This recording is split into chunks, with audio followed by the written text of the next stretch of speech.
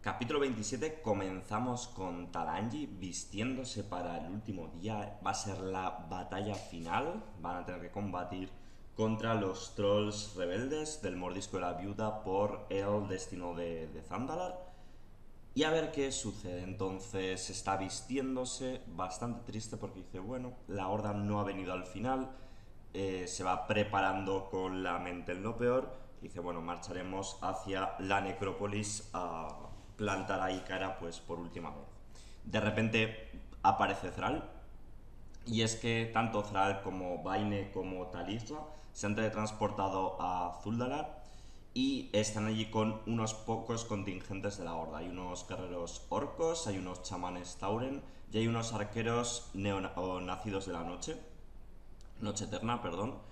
Y bueno, pues están ahí básicamente, empiezan a hablar, menos mal que has venido, no sé qué.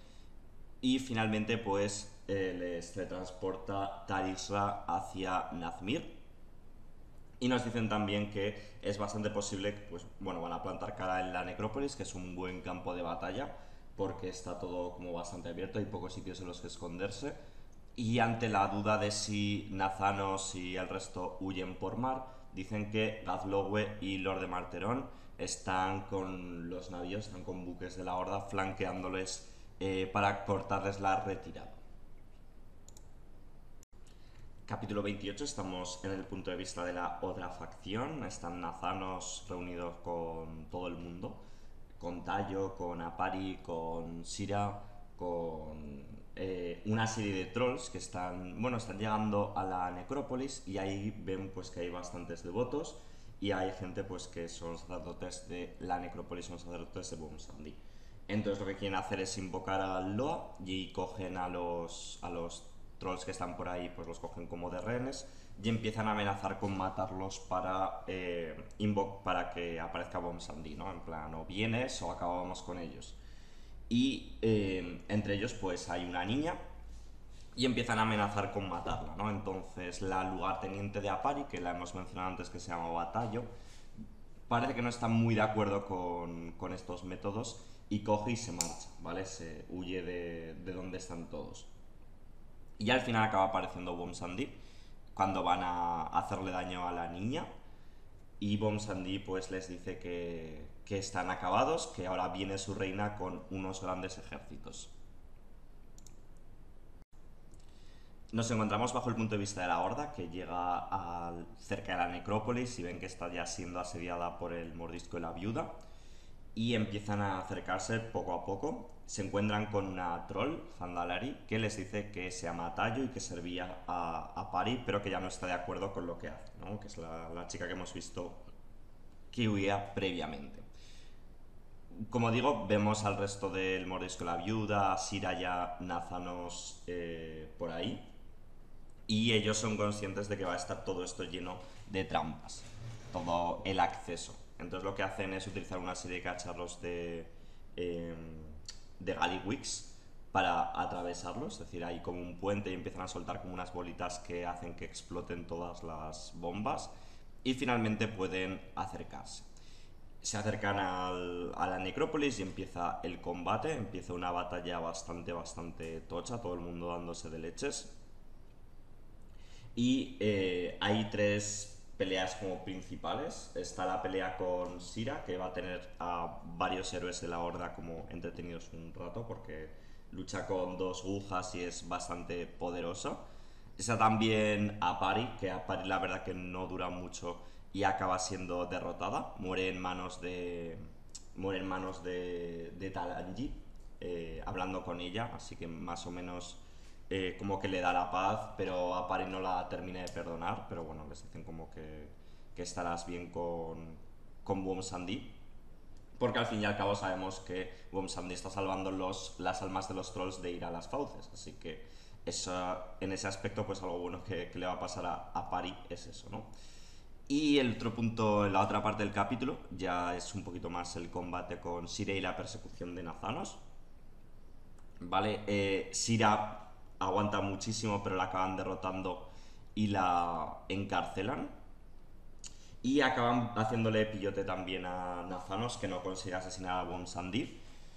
Básicamente Nazanos no tiene ninguna manera de escapar, está encerrado, rodeado por todas las fuerzas de la horda, y de repente coge un vial y grita, mi reina, mi señora. Grita eso, y aparecen unas fuerzas oscuras que le agarran. Recordad un poquito la escena final de. Bueno, la escena final, el combate de McGora entre Barok y Silvanas, que Silvanas utiliza como una magia extraña, oscura. Pues es la misma magia, ¿vale? Dicen que es la magia que Ben le recuerda al, al aquel. Es la misma magia y de repente, pues, Nazanos desaparece.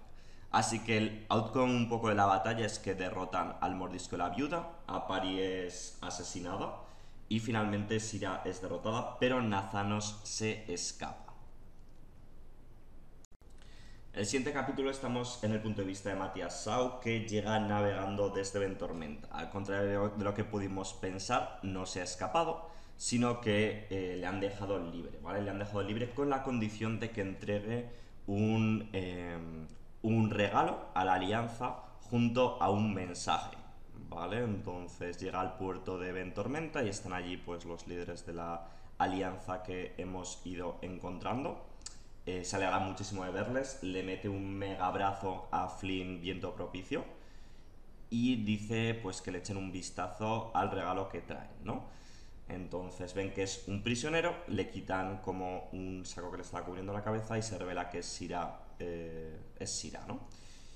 Y eh, le dicen que va con una misiva, que la misiva es de Thrall pidiéndoles pues que le entreguen a Sira, a Tirande y a los elfos de la noche que les digan que no es lo que les prometieron, porque al fin y al cabo les prometieron la cabeza de Silvanas, pero eh, que es un, como un primer paso, como empezar a ir en la buena dirección, ¿no? Y ahí está este capítulo. El siguiente capítulo estamos bajo el punto de vista de Tirande, que llega a Ventormenta y está pues en la prisión, ¿no? Va acompañada de Mayer, va acompañada de Sandris, ¿vale? Y llegan a la prisión y efectivamente ven que está ahí Sira y, bueno, pues empiezan a discutir, pues irá diciendo que la luna le abandonó a ella, que, los elfos le abandonaron, que, no tienen ningún motivo para darle lecciones a ella. Y Sandris intenta como defender a, Sira diciendo que es una criatura que está destruida, que no hace falta acabar con ella Mayev como que no está tan de acuerdo y llega de repente Tirande y le corta la cabeza a Sira. Y básicamente que dice que tiene como misericordia por una cosa derrotada. Así que vemos ahí a Tirande siendo un poco bestia. Pero bueno, eh, en fin, esto es lo que acaba sucediendo con ella, ¿no? Estamos ahora en Dazaralor, que están hablando varios personajes de la Horda, han estado festejando la victoria sobre el mordisco de la viuda.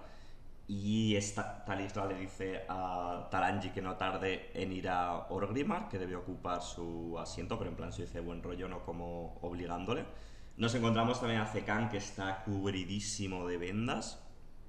Dicen que... Eh, ¿cómo, cómo, os puedo recompensar? Dice Talanji. Y Zekan le dice con un beso, pero bueno, han básicamente empacado ya todo y se van a ir para, para Orgrimmar. Y le dicen a Talanji que cuando esté lista, pues que se una a la caza, ¿no? La caza es básicamente ir a perseguir a Silvanas, eh, a Silvanas, ¿no? Dicen que Tayo, la chica esta que se acabó por unir a, a Talanji y tal, va a ser la embajadora de los Zandalar con la Horda y que, bueno, pues que le van a servir, eh, va a servir a Talanji como Zekan sirvió a la Horda. Y que si no haber sido por ella, pues hubieran topado con las trampas de, de Nazanos y les habrían hecho polvo. ¿Vale? Y, hay una niña que se le acerca diciendo como que mm, tengo miedo de vas, a estar eh, poseída por vas a estar poseída por Talanji vamos a servir a los a los al Loa de la muerte, hay por a vamos a servir al Loa de la muerte.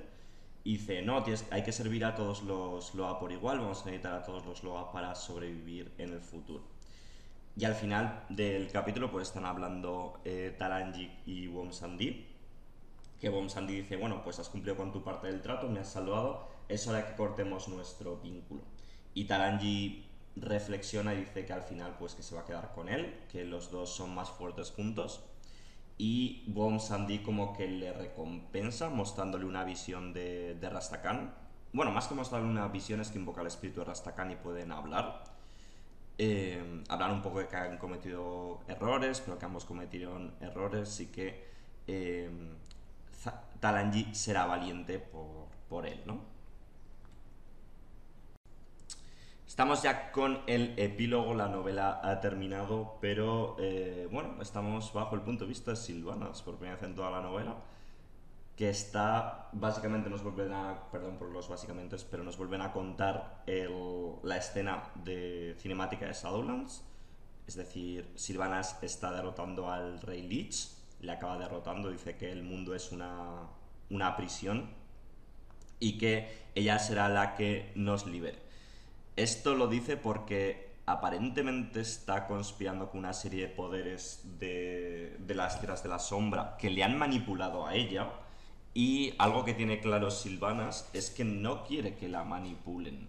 ¿Vale? Lo que quiere hacer ella es como ser independiente, entonces está, según ella, ¿vale? O sea, no podemos comprender exactamente qué es lo que está haciendo del todo, pero según ella está acabando con el sistema injusto, un sistema injusto que tiene que ver con la muerte y está como liberando, liberando a la gente de, sus cadenas y dice que el carcelero, que parece que es un personaje de, de Shadowlands, bueno, es un personaje de Shadowlands, está confirmado, parece que el carcelero eh, también está de acuerdo con ella, también es consciente de, este sistema injusto y de que hay que romperlo, de que hay que acabar con él. ¿Vale? Entonces aparece Nazanos, le dice que ha fracasado, que Sandy vive y dice Silvanas que Sandy es muy, muy, muy peligroso en el reino de, la muerte y que esto va a complicar muchísimo, muchísimo más las cosas. Así que le dice básicamente que, que a Nazanos que se vaya, que no, que no le moleste más, que, ha fracasado. Y como decimos, pues que el Loa va a ser muy, muy, muy poderoso en las tierras de la sombra y dice Nazanos que va a volver a su base de operaciones, que dice que está en Marris Steed, no sé exactamente cómo se decía en español este sitio. Y Silvanas dice que, que, vaya, si quiere, pero que a ella le espera otro camino y que se sumerge con, y se termina sumergiendo con la sombra. Bueno, pues esto ha sido todo, chicos, y chicas, por este resumen. Hay muchísimas cosas que creo que hay que analizar o mirar bien todo lo que ha sucedido. No es como que hayan sucedido una gran cantidad de cosas, más como puntos concretos, información y personajes que se nos han presentado. Pero yo desde luego diría que estas son las mejores novelas de entre expansiones que he leído. No a nivel de calidad de novelas, que bueno, tampoco vamos a pedir la gran cosa, pero sí que poniéndola al lado de la novela de Illidan, poniéndola al lado de la de Crímenes de Guerra, la de Before the Storm, todas estas pues sí que me parece de las mejores, ¿no? Sobre todo porque ha habido muy muy poquito relleno, que es algo que, que estuvo muy muy presente en novelas anteriores y lo cual se ha agradecido. Y nada, eh, a ver, tengo ganas de comentar spoilers y cositas con, con vosotros en los foros o donde pueda. Igual hago un análisis como resumen eh, o sea, como comentando puntos clave y tal de la novela. Y quizá también, pues, mm, me pase por los foros y eso, ¿no? A ver qué piensa la gente. Nada más, chicos, muchas gracias por llegar aquí, muchas gracias a todos los que habéis seguido esta serie. Espero que os haya sido de utilidad y nos vemos en el próximo vídeo. Chao, chao.